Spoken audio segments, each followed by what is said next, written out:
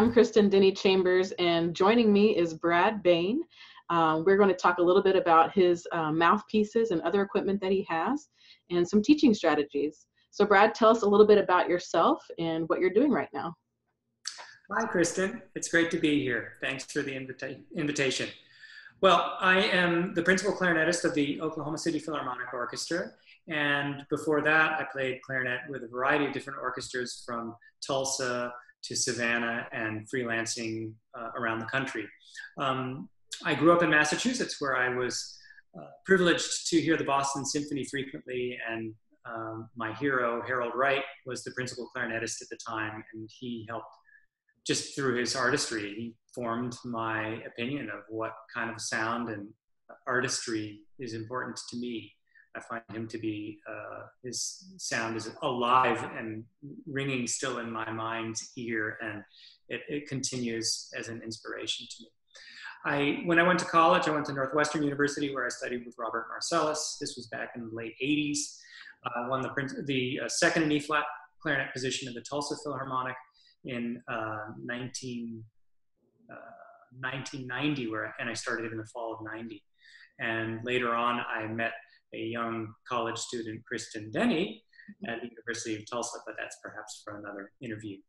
Um, and uh, here I am in Oklahoma City now for about, uh, I think I'm starting my eighth year. Um, something that happened intermixed with all of it was I've, when I was in college, I uh, learned how to make clarinet reeds and uh, I was a, and continue to be a reed maker. It was a very important part of my uh, clarinetistry.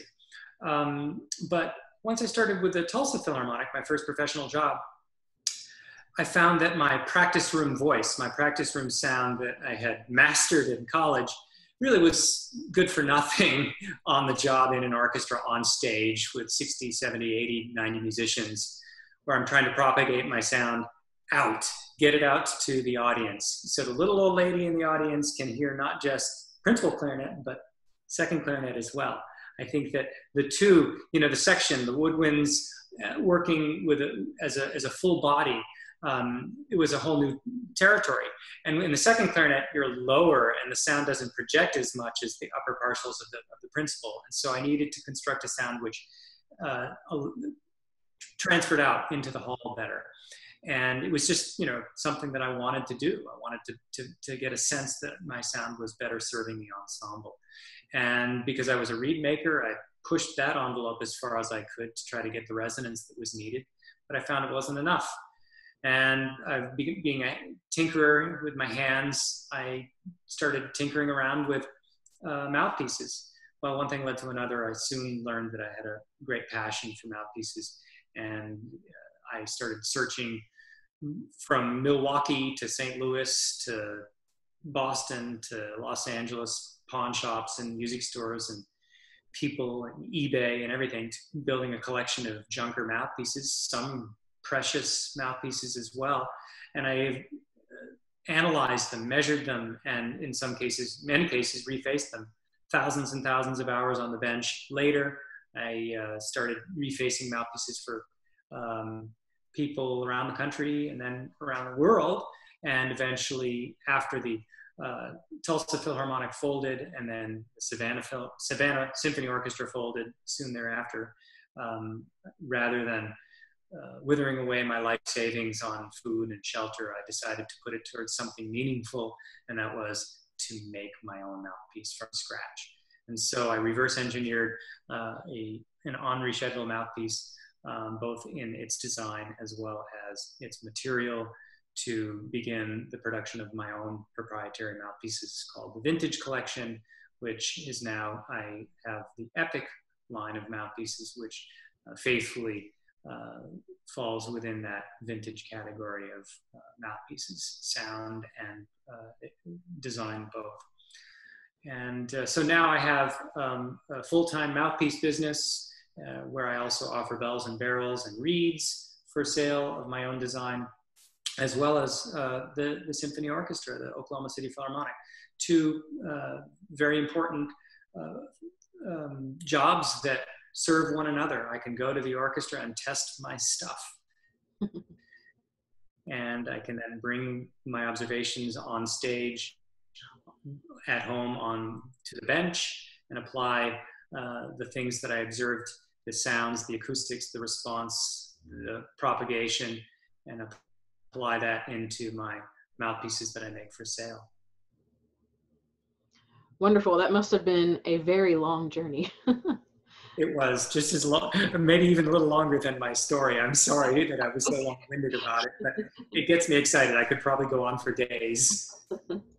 Well, tell us a little bit about your concept of sound and how that has informed how you have designed your mouthpieces. So my concept of sound is is that of uh, what I learned from uh, hearing uh, Harold Wright and studying with Robert Marcellus. And the way I would describe it is that uh, it's got to be there's got to be a clarity. The sound has to be clean and constructed with ease and comfort and a full rich palette of overtones from the low all the way up to the highs nothing cut out it's celebrating the truth in the clarinet playing experience. All the all the overtones are welcome. When you're working with people who say come to your table at a convention or they call you on the phone and say i want to try some mouthpieces how do you approach working with people who might have a slightly different concept of sound than yours? And especially if they're wanting you to reface their mouthpiece how does that conversation go? Well, that's a very interesting question. Well first of all my concept of sound is is one that i said welcomes all the overtones. And i think that these days uh, a lot of the younger players especially they're trying to do something to their sound to make the clarinet perhaps different than what i believe it truthfully is. And that is they're trying to darken the sound to a point well to a, to a, where it's flawed where you, where you're eliminating so many of the upper partials that the clarinet no longer is sounding like a clarinet. These people their inspiration is perhaps to sound more like a horn or an alto saxophone. To, to me uh, if you would just generically think of the sound as part horn and part oboe and you blend the two sounds together and you get the clarinet. So we'll start with the horn and then you gradually EQ the, the oboe into the mix.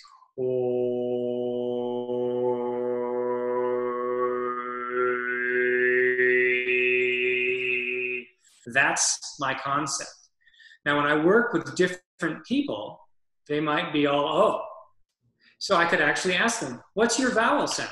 When you play the clarinet, just a little quick interview, quick two minute discussion. What do you want to sound like? Are you an O guy or are you an E guy? Or are you a woman.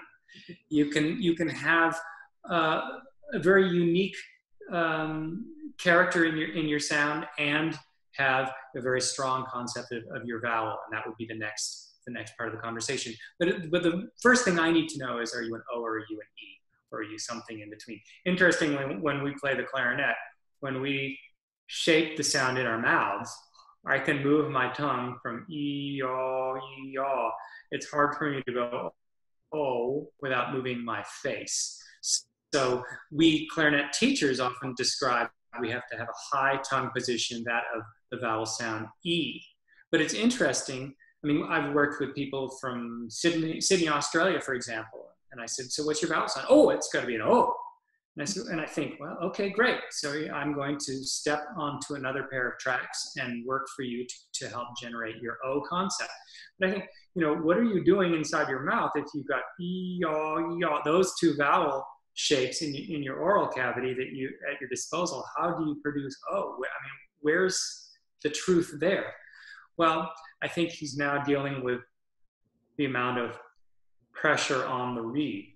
Oh, you know something something like that so also i should say that sometimes if some if somebody's concept is really far from mine if we don't share anything similar i might say well this is this is what i think is as far in your direction as i'm comfortable making and uh, if if it's not for you i'd be glad to refer you to somebody who i think might better suit your concept.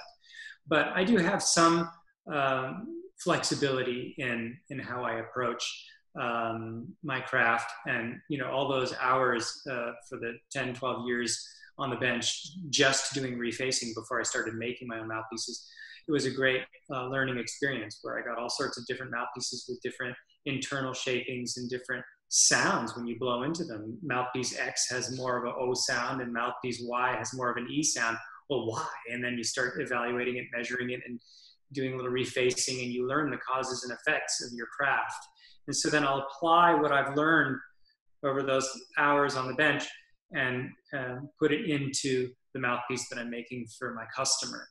And um, you know, the conversation doesn't stop with the mouthpiece. We'll talk about reeds, and sometimes I'll work with somebody, and well, frequently, and I'll say, "Here, try this reed. Maybe that'll help get you the the, the, the vowel sound that you're looking for without sacrificing response or without adding unnecessary resistance." You know, re- by the way, on resistance and and uh, freedom, there you got to have the right balance. There's you've got to have a little bit of resistance, working resistance, something to blow into that can help give you a safe platform for your artistry to unfold.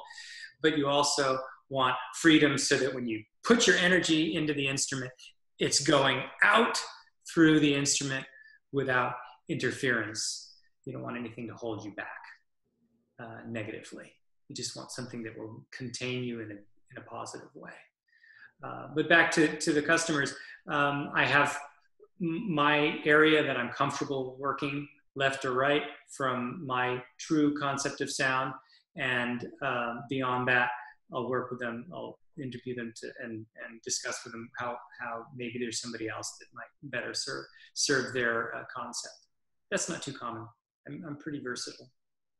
Okay.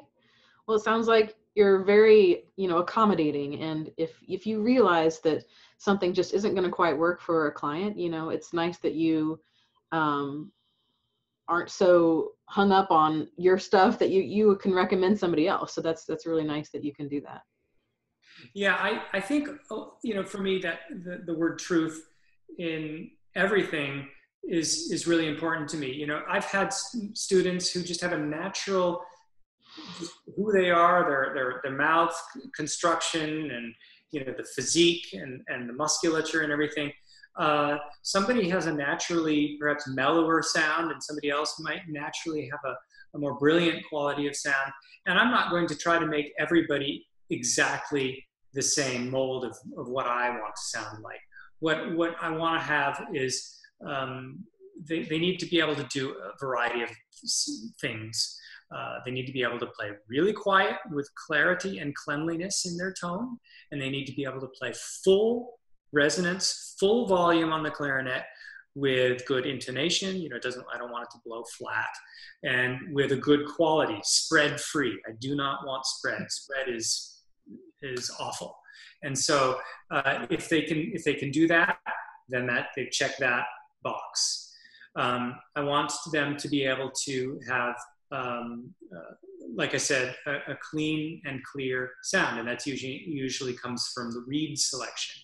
There's nothing I like less than the sound of effort, and I hear it out of a lot of clarinetists, and that comes from this crazy thing that people want to play on reeds that are too hard. I think it goes back to that sense of resistance and safety um, again, I, I, think working resistance is important to give you a sense of comfort, but it, it shouldn't dampen and mute your artistry. I mean, if somebody's spending, say, say a person has this much energy, and if they're using this much of their, their resources to make a tone, they only have this much left to make art. Mm-hmm. Well, if it takes this much energy to make a tone, look at that. That's a much more meaningful musician. That person has room to do stuff. And so the truth in the clarinet is very simple. If you can't make a loud, pretty, and a soft, pretty sound, you're not um, you're not succeeding. You're not able to play the clarinet properly, and so we have to fix that. Another thing is you've got to be able to play a certain length of time on a single breath. For me, the litmus test, there are two. I want to be able to do the A clarinet solo from Brahms' Third Symphony, uh, the first movement. I want to be able to do it on one breath. There is no good place to take a breath. Let's be realistic. Sure, we can sneak one in, but if I can't play that solo on one breath, then I'm playing a reed that's too hard. Maybe hard is not the right word. The, that piece of cane is not with as much vitality and, and efficiency. And so I'll find a reed that allows me to do it.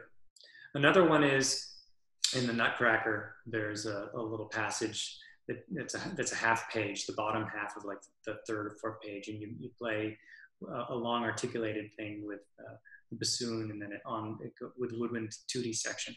And um, I'm not going to try to sing it to you, but um, it's three, four pages in and it's on the left hand side and it's the bottom half of the page. It's a long blow. That piece, anything by Tchaikovsky is a long blow.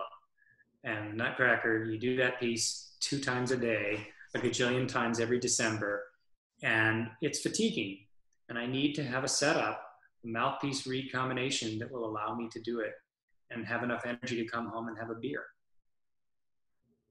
Not only finish that excerpt, but the rest of the concert. so, you know, basically, I want to find various truths in the clarinet playing experience and solve them. And if I and if I have the ability to play a long time on one breath, if I have the ability to play loud and soft on one breath, if I have the ability to produce a sound that is clean and without effort, then I'm, I'm pretty much doing everything that I want to do. And also, I need to be able to articulate. There are certain passages in the orchestral repertoire that are basic litmus tests as well. The Mendelssohn Scherzo, you know, if I've got a reed, that'll do that, I'm ahead of the game. Uh, if uh, you know, if I've got a reed, that'll let me play the first phrase of the Mozart clarinet concerto, I think that that articulation, get it just right with a sweet nuance, um, I'm ahead of the game. So part of part of uh, you know what's important to me in shaping and uh, the sound is just I have to be able to succeed on the various demands of the repertoire. And if I can do all of those things with one reed in one session, I feel like I'm doing great. All right. Well, I would love to know a little bit more about your your new barrels and your bells, and maybe a little bit about the new reeds that you'll have uh, next week in Orlando. Yeah. Well, thanks for asking. Yeah, I will be in Orlando at the International Clarinet Association, and I'd like to invite all the viewers and listeners out there to come and pay a visit at my booth. Um, and uh, you don't have to buy anything. Just come on over and say hello and say you saw this uh, interview. Let me know and let Kristen uh, know how, how we did. Um, but yeah, so I have um, this, it's important to me that the sound propagation be comfortable and that the sound be centered. Remember I sang that vowel sound, the center has to be easier to produce. That's very important to me. If, if the sound is more brought in, I'm, I feel like my equipment is doing what it's meant to do. And so I started, uh, after the mouthpieces, I started with barrels. And I have two different barrels. They're both the opposite of whatever else, everyone else is doing.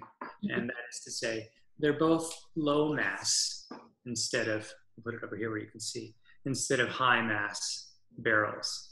The one here is lower mass, obviously, it's got the hourglass shape than this one.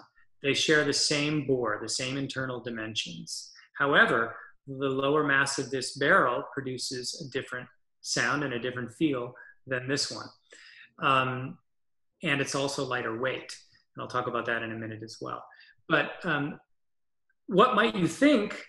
You know, the, the bigger the mass, which is very popular these days with other barrel makers that want to make a big chunky, well, two things. One, they have to make a, if they're making it out of wood, they have to make it certain body size just to help stabilize it for two things. One, to help prevent likelihood of cracking, and second, or two, to um, uh, help keep the bore stable. You know, wood has an axis axis and it uh, will expand and contract at two different rates because of the um, it's easier to expand with the grain than against the grain. And so um, by increasing the mass the body the bulk of, the, of a wood barrel it helps keep that bore shape in line and uh, without becoming ovoid. And uh, wood has a lot of issues with it. uh, which my barrels are rubber, which um, it's it's going to keep the same dimensions. It won't blow out, and um, uh, it's more stable than wood and uh, lower mass than wood. And the contrary to popular thinking, a, a, low mass barrel with thinner walls, one might think it'll be a thinner sound or um, brighter or shriller sounding. It's just the opposite, actually. Um, this the skinnier barrel, for me, plays fuller and bigger. They're both, because of the, the way I've voiced the bores, they're both very centered and I, I call it, they brings a level of autofocus into the playing experience more than any other barrel I've ever experienced.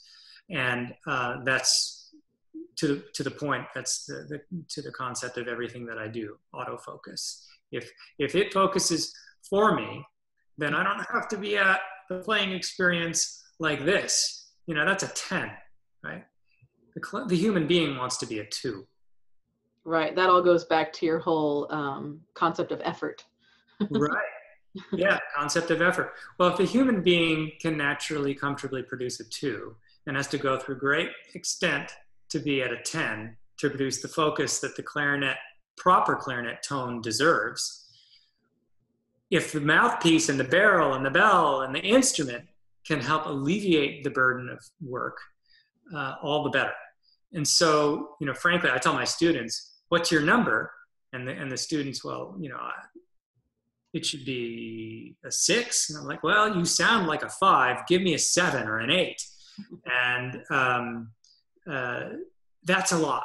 That's a lot to ask for somebody to do. I mean, can you imagine doing a recital an hour and a half long where you're up here like this producing an eight? It's hard. It's hard to be proper on the clarinet. The clarinet was not meant it does not gel with the human playing experience, uh, with the human condition, I should say. The, the, the playing experience requires more of us than we want to give it. And so I'm trying to find a way to make it easier. Um, so this barrel has a little bit, uh, it's, a, it's a little bit slower to get up to speed.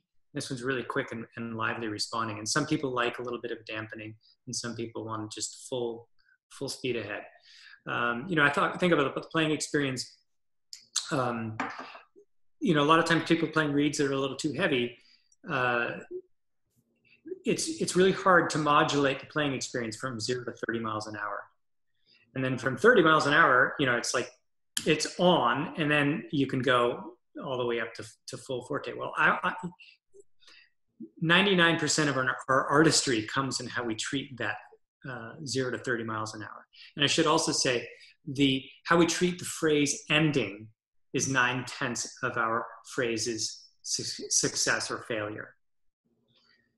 That's what the human ear remembers. So if you do a flat phrase and then all of a sudden you do this beautifully shaped, lovely taper at the end, you're going to win over the audience, even though you played re- relatively stiff.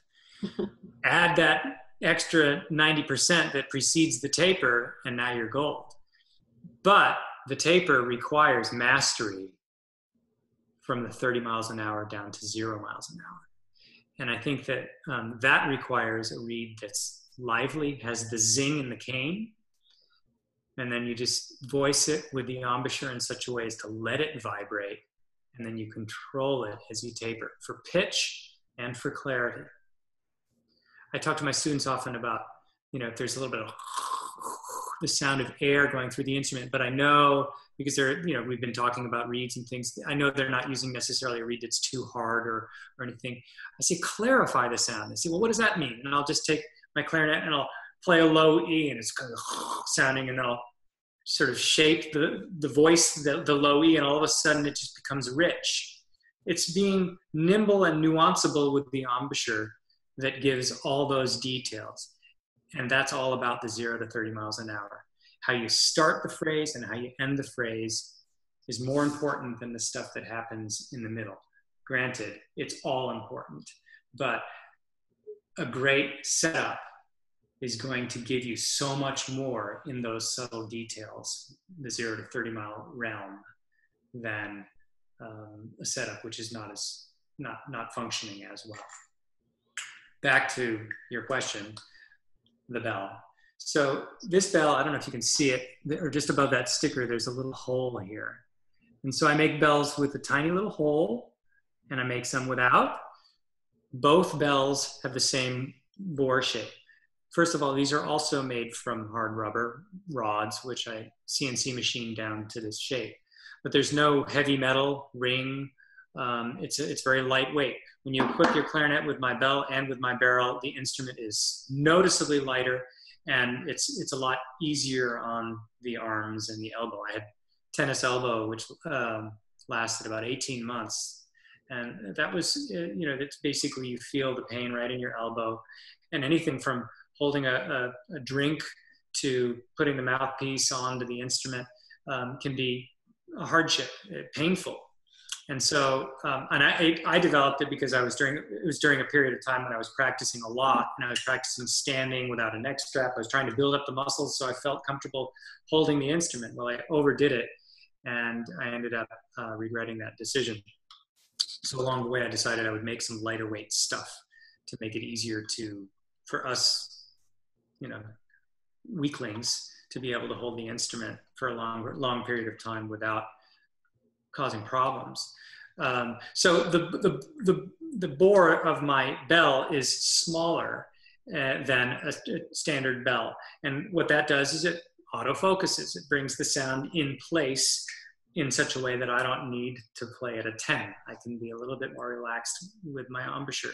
You know, the, the, the, everything about the clarinet tone is um, with that reed and embouchure um, contact point. It's kind of where, uh, from a car analogy, it's where your tire hits the road. And um, if you overinflate your tire or underinflate your tire, you'll have a, a, different driving experience. Well, here, let's take it to a bicycle analogy. If you take a bicycle with a big, uh, big tires, low uh, low tire pressure, like the old one speed, one speed Schwinn bicycle from the Leave It to Beaver television show era, the 1950s. You can imagine it's very smooth. It's a, it's you know, it smooths out the the undulations, the the bumps, the cracks in the road, but it takes a fair amount of pedal force energy to get moving. But then on the other hand, if you take a Lance Armstrong racing bicycle with very skinny tire and very high pressure, and you can just touch the pedal and whoosh, off he goes. That's very efficient, um, low rolling resistance. Well, you know, how I form my embouchure on the reed can affect how the reed vibrates. If I want to dampen the reed's vibration or if I want to celebrate the reed's vibration, has something to do uh, with that contact, both the point up and down on the reed as well as the, uh, the pressure uh, inwards on the reed and now we're getting out into the weeds on clarinet pedagogy. I'd be glad to talk more about that. But uh, suffice it to say, the my equipment focuses so I can be a little bit more relaxed here and comfortable. Okay. We do have one Facebook question from Bob Yoon. He did want to know exactly what is the weight of your barrels and bells, and maybe if you have a comparison to like a standard barrel and bell, uh, what the difference would be on the weight. I'll have to get back with you on that. I actually haven't measured it. I just know that when I uh, hold the instrument and then go to a normal instrument, there's a big difference. Um, uh, I can get a scale and weigh it, and I'll and I will uh, give you those differences. Um, but I don't want to take the time of the interview to do it to do that right now. Sure, we can add that to the conversation uh, when I post the video on Facebook. Great. Okay. well, one more question about uh, mouthpieces and things like that. You know, the conference is coming up next week, and of course, there's always the the Friday, the high school day, so there'll probably be a lot of young players coming through on that day. What advice would you give, you know, a younger high school player who who knows they need to um, have a better mouthpiece and they have no idea where to start? Oh, wow, that's a great question. I remember when I was in high school and I was really interested in getting a new mouthpiece. Go figure. Um, and I remember my teacher said, "Well, why, why do you need it? Why do you want a new mouthpiece?" And I just felt like for some reason I, I needed one. I, I, felt like I could get a better sound if I new, got a new mouthpiece. But I didn't know anything at that time. You know, a sophomore in high school, I, I thought I knew everything. I thought I knew everything about life when I was a sophomore in high school. But now I look back um, at that period of time because I knew nothing. and um, I think that high school players, younger players, should not buy anything without their teacher's input. Um, because the teacher knows that they're, they're, paying that person presumably to give them advice and counsel. So um, I'm happy to meet with uh, a high school player and, and chat with them about mouthpieces and answer any questions and welcome them to try my mouthpieces and they can see for themselves, you know, their mouthpiece versus my mouthpiece you can try my reed, do the whole do the whole experience. But I would say, do you have a teacher? Can before you buy anything, can we make sure that this is going to be acceptable from your teacher's point of view? That's who uh, ultimately should be in charge of those decisions, I think. Um, and um, you know, it's it's there's so much unknown out there, especially from a younger player's point of view, it can be a little bit scary.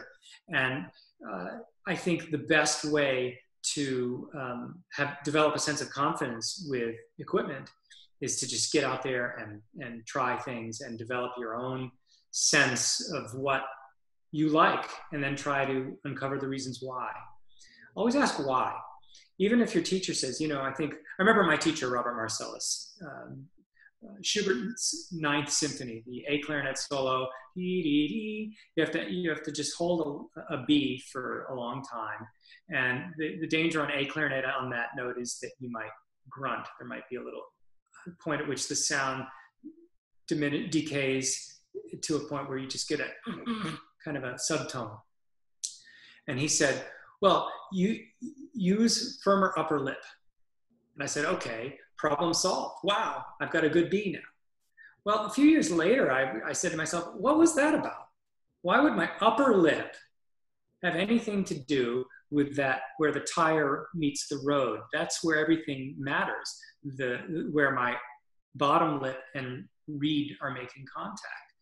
So I explored it, and I so basically I was asking why, and then I, and then I decided that by firming the upper lip, the bottom lip moved along the way in parity with the, uh, with the upper lip.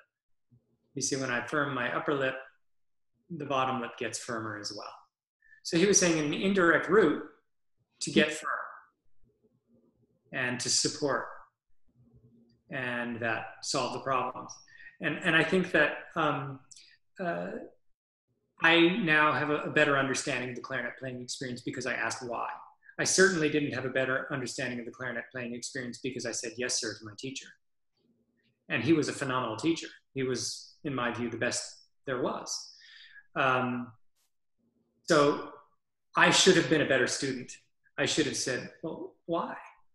And then heard what his explanation was. Wow, that my conversation with you now would have been so much more interesting if I could relay that conversation. Uh, so, uh, you know, try to learn the truth. Try to figure out what is the truth of the matter. Um, and so the younger players, those high school students, if they're going out there and they're trying different gear and then they go home and they can start simmering on it and thinking about it. Wow, I tried this Behn mouthpiece and it sounded so much more this. And I tried a so and so's mouthpiece and it was so much more that. Well, why? well, that conversation I had, or with this reed, or whatever. And then when it comes time for them in their uh, years fast forward and they're, they're playing clarinet in a symphony orchestra and they realize they need a, need a new clarinet or a new mouthpiece or whatever, they have experiential knowledge and a better sense of understanding of why things work and they can pick out their gear with confidence. I mean, there are a lot of people out there who pick professional instrument pickers and professional, uh, you know, they have service to uh, to help people who don't have that level of confidence, and it's a wonderful thing that they can um, serve the clarinet community in a way where their their knowledge can can illuminate uh, the uh, recipient um, in such a way that the, the recipient would never have the, the ability to do it on their own. Okay, that's wonderful advice. And, you know, with my own students, I, I try to think about the same idea. You know, they're often asking me, what ligature should I get? What mouthpiece should I get? And I'll I'll talk about a few different things, but I'll say, you know, the really the best experience is going to be for you to just try a bunch of stuff. You know, you can get all the opinions you want from this person and that person, but if you don't try it yourself, how are you going to know? That's right. That's right. I should say, uh, from a teaching point of view, you know, a younger, underdeveloped player, they don't have necessarily the embouchure development or even consistency with reeds to be able to make the decision. And so I, am perhaps a minority in the, in the teaching pedagogy point of view to, I'll just tell them, this is what you need. Of course, you know, I have a very strong concept of what kind of mouthpiece, what kind of facing will serve this kind of player. And so I, I have the ability to pick for them. And I think they're very well served for that because, you know, a, a young student who may try 10 different mouthpieces from 10 different manufacturers, uh, they're, they're just going to get, it's going to be luck of the draw. They're going to end up with the mouthpiece that that reed of the day and that underdeveloped embouchure seems to function with. That doesn't mean it's the best choice for them. It just means that on that day, it produced a more pleasing sound. I should go one step further. In Oklahoma City, um, one of the first things that uh, band directors oftentimes do for prospective students is they'll just have like an assembly and they'll have these kids, random kids, go through the line and blow into a saxophone and then blow into a clarinet, blow into an oboe, and then whichever instrument the kid sounds better on, well, that, maybe that'll be the instrument you can pick next year when you start the band. And I think that's ridiculous it's just you know like who knows what that reed condition is if it's a reed that's any good at all to begin with let alone you know does it have a big chip or a gash on it?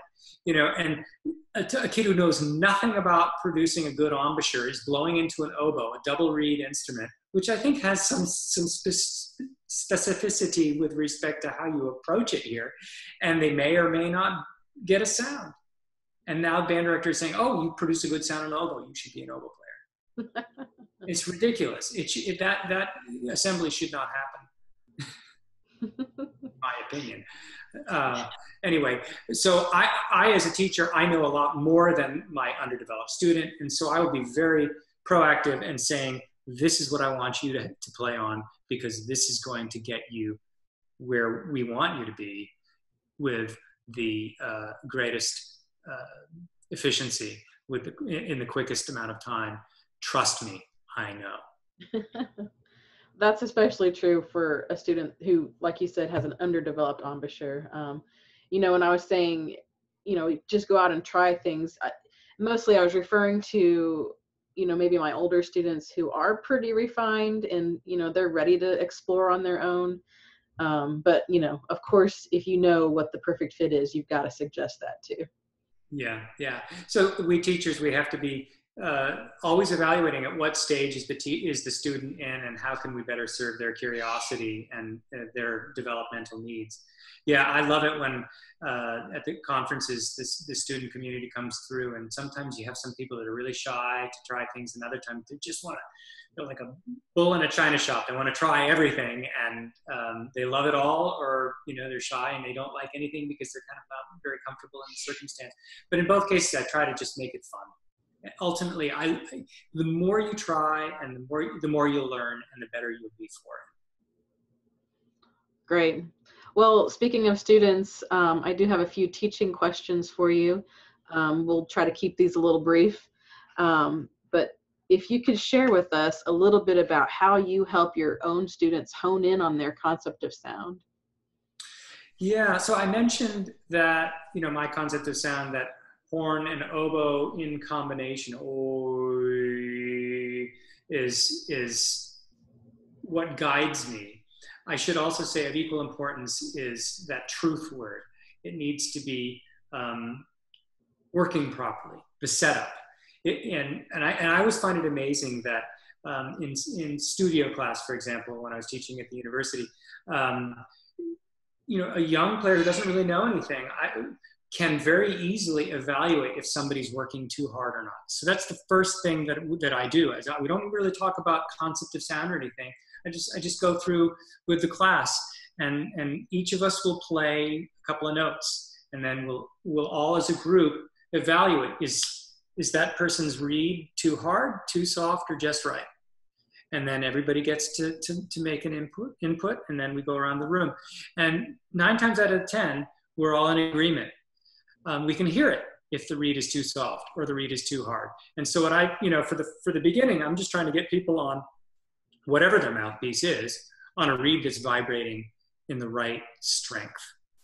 And then we're getting closer to the truth. What is then the right the right kind of concept of sound? Well, it's one that resonates efficiently and with with clarity. And then can you have a full range of dynamics? Can you play with a certain amount of time on one breath? Oh, another one is the Baermann Book Three. Can you play the scale up and down, up and down, all on one breath uh, at a certain tempo, at 104 for the uh, quarter note? Um, so I have my students do that, and if they can't, then we work on it. Take how to take a big breath. By the way, breathing some sometimes teachers talk about diaphragmatic breathing and all these things. I think it's a lot more effective if you just say take a yawn but put power behind it.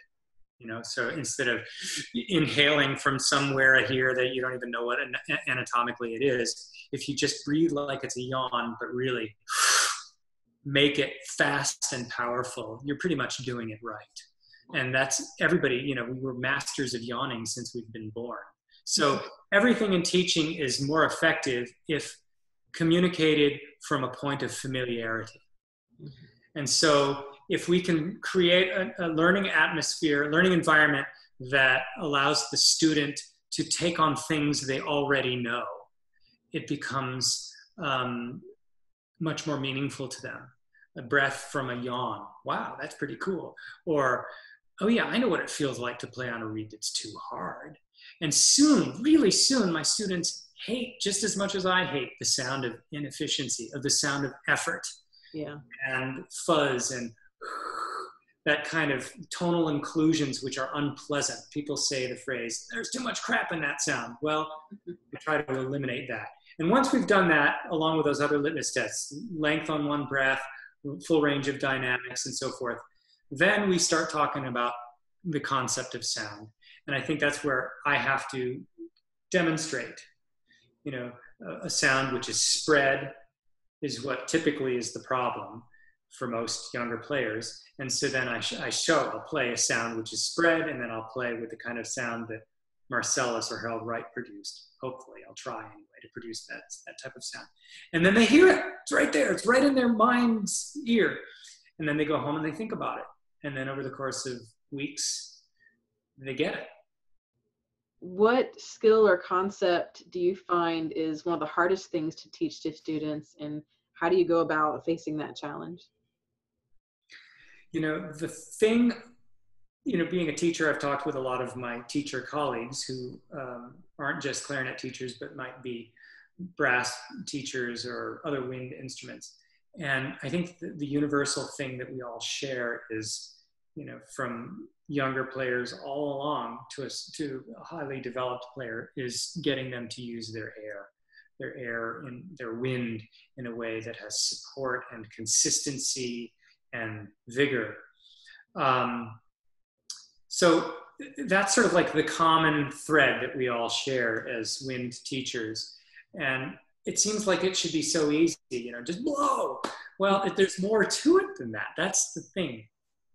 Because you know, especially as I might be getting a, a, younger player who's been playing on reeds that are too hard, I might be encouraging them to play on a, a reed that's a little little lighter, and then they end up consequently backing down on the on the end because, wind because it's easier, and that's something that we have to be very careful to manage. So some teachers actually move students up to a heavier reed because they're trying to get them to use blow through the reed and develop a certain amount of air uh, support um, both ways can be effective.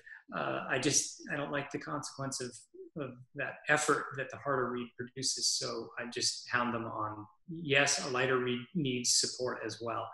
Um, but you know, wind. There's more to it than just blowing, and um, using the air in an artistic way is is I think very very important um, I, I, ta- I use a phrase called a microburst, and that's where you use the wind to help navigate occasionally technically demanding things, perhaps going above and below, navigating the third register up in the altissimo and then and then down below. Sometimes there can be response issues, and so if you can just blow through that that nimble passage in such a way as to keep the wind so well supported that the note will come out regardless um, sometimes requires more than just a steady supported airstream, but it needs a burst. So if I'm blowing, that's exaggerated, but that sort of uh, kind of air which um, uh, comes with little bursts is, is a very useful tool to navigate through technical problems. And of course, in artistic musical passages as well, when we want to accent something, uh, but um, you know what kind of an accent, a hard one or a soft one or, or something in between, requires that manipulation of the wind. And you know that requires demonstration and um, uh, you know games to try to try to employ it. I'll show you if you've got a minute. I'll put my mouthpiece on. I'll just really quickly demonstrate something that I do with my students to try to explore the, the beginning of the of this microburst in a musical setting. Microburst, the first one.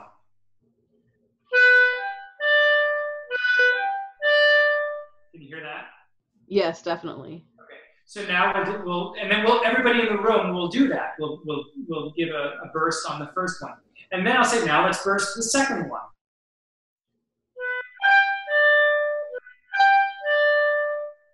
And then everybody will do it, and then we'll go and do the third one. Now mix it all up.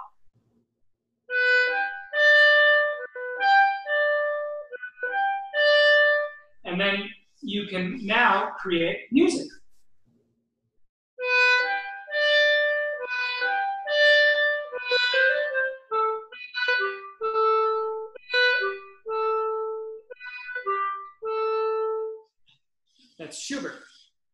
I don't know if that was coming across on the speaker, but the idea is to introduce manipulating the air and support of the air in a musical context. I think everything in teaching is sticks more with the student if you're doing it through musical endeavors. If you're if you're putting music behind it rather than just for technical stuff. Of course. so the wind, the, it's all about the wind, and and we can discuss the wind in ways that are much more than just wind, but music. All right. Well, I think we have a couple of questions to close out um, this lovely discussion we've had so far. Um, one which is just always makes me curious how did you come to play the clarinet? Wow. Uh, so when I was in the fourth grade, um, I, there was an assembly, and this was the good kind of assembly where we didn't play the instruments, but we heard them. Mm. And I heard the oboe, and I just thought, wow, I love the sound of the oboe. And I went home and I said to my father, I want to play the oboe. And he says, No, you don't. All the oboe players I knew in college were nuts. Play the clarinet. You know, Benny Goodman, Artie Shaw, the king of swing, the master of the altissimo register. And I thought, okay, when you're in the fourth grade, your father can say nothing wrong. And uh, well, I got the clarinet and I started taking lessons, and I was a little bit of a slow. It was slow to take off, but when I, you know, I, I took lessons and things, but really I got most interested in the clarinet when I was in high school, and I and I got a new new clarinet teacher, and we started talking about sound, and and I started listening to Harold Wright, and you know, all of these things really uh, took meaning to me. Wonderful. Um, and then the last question is um, tell us a little bit about some ideas that you might have for clarinet teachers, professionals, just all of us in the industry, how we can make music and the clarinet in general um, more accessible to the general public so that our industry can grow and we can thrive. Yeah, that's tricky because the industry is having some trouble. Um, you know, it's interesting. You know, there are a lot of young players. You know, the band programs and the orchestra programs around the country. Um, but along the way, as you get higher up that that pyramid, um, uh, you know, in orchestras, for example, few of them really have very strong financials where they've got solid footing, solid foundation, and you know, there are very few orchestra positions in the country where you can actually make a living.